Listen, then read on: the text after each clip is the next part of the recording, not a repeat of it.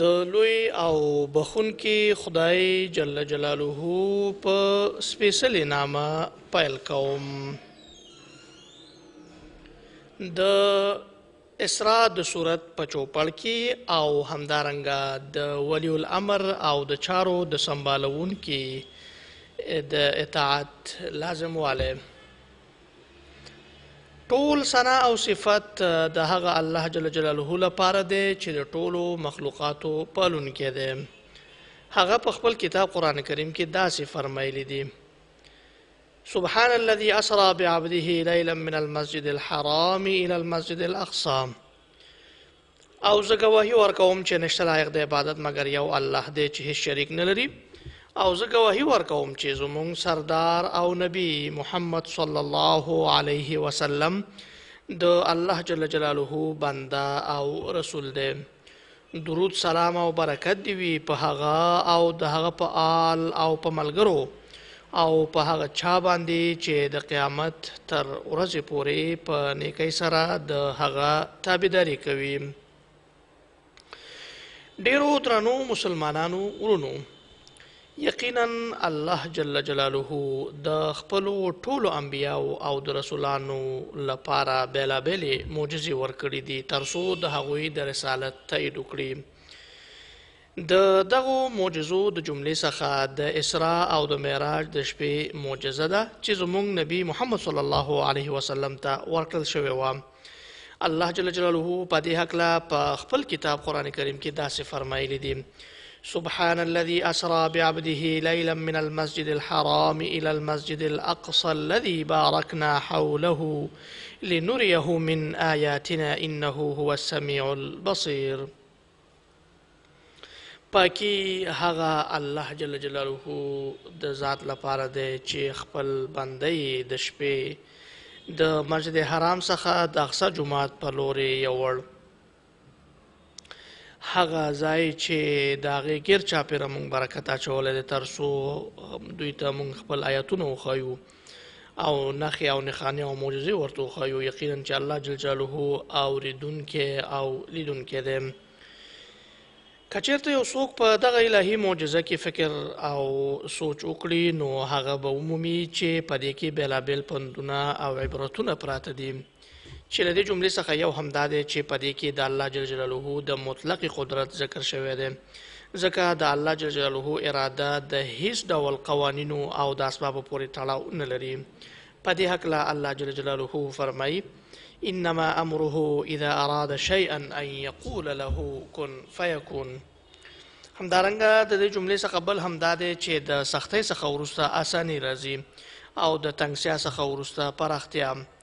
وروسته له دې چې پیغمبر صلی الله علیه وسلم د مشرکانو څخه په بېلابېلو ډولونو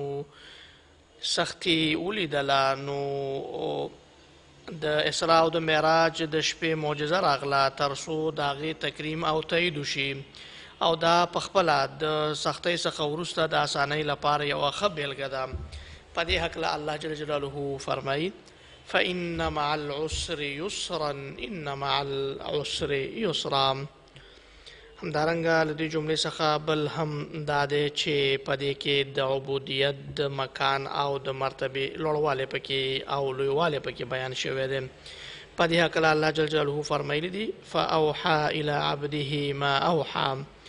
نو د الله جل جلاله عبودیت په خپله یو عزت او کرامت دی او دا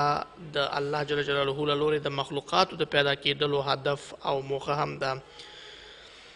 چې په دې باندې ټول انبیا راغلي دي همدارنګه له دې جملې څخه بل هم دا دی چې د اقصا د جومات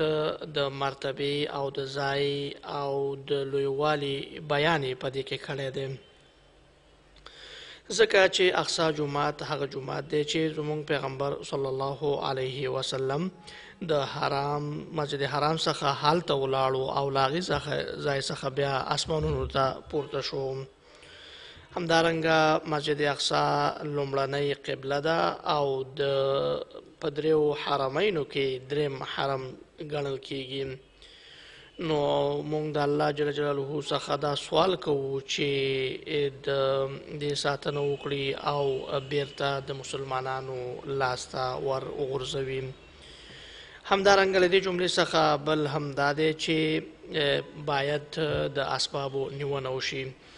کله چې نبی کریم صلی الله علیه وسلم بیت المقدس ته ورسېدو نو خپل براق یې هلته وتړلو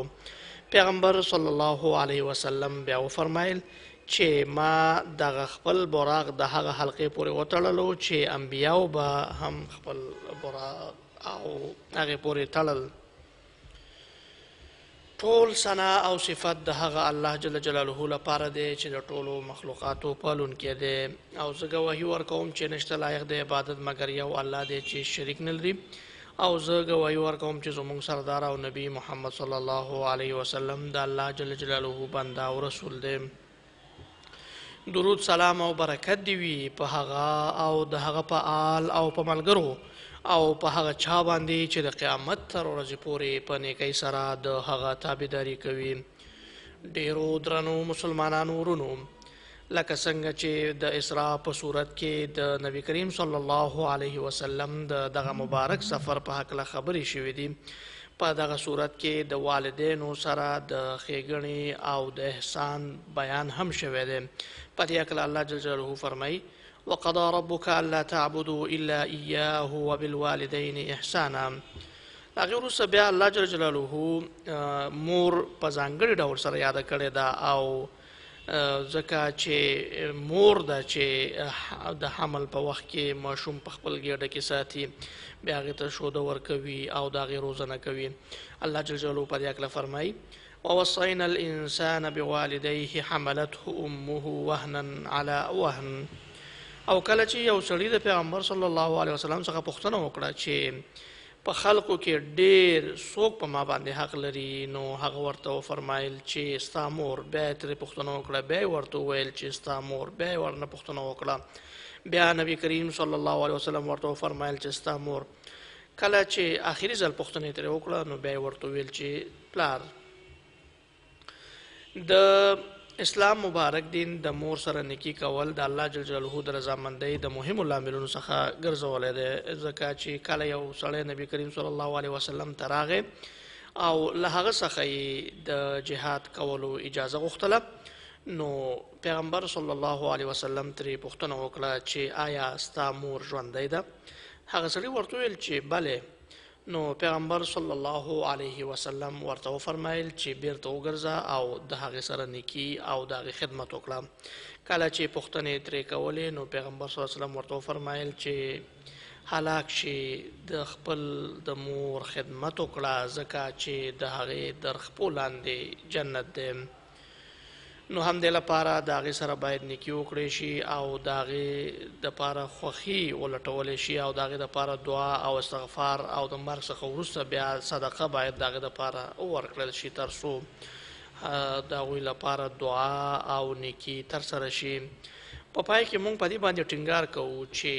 لازمه ده د چارو د سمبالونکي یا د ولی الامر اطاعت باید وکړی شي او همدارنګه د دولت د ادارو څخه د هرې ادارې پورې چې کوم ځانګړتیا شته هغوی په خپل ځانګړتیا کې باید معلومات ورکړي او یوازې د هغوی څخه باید اطاعت وکړی شي نو لازمه ده چې د هغوی د لارښونو څخه باید سرغړونه ونه شي د مصر د اوقاف وزارت د ټولو هغو رسنیو او همدارنګه د